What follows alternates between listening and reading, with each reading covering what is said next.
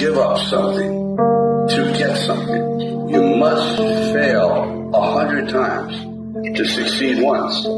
You only learn when you fail. When you fail, it's okay to get depressed. It's okay to cry. It's okay to go home. But eventually, you have to get over it and move on. The greatest people have ever walked this planet constantly had setbacks in life and failures. Constantly. Most people stop at failure. We've all failed at things. I'm going to continue to fail at stuff. It's the most powerful tool you can use but it all depends on how you use it. It's that drive inside of you. That's the fuel that burns you like something that's never burned inside you before. It's about how hard you can get hit and keep moving forward. How much you can take and keep moving forward. That's how winning is done.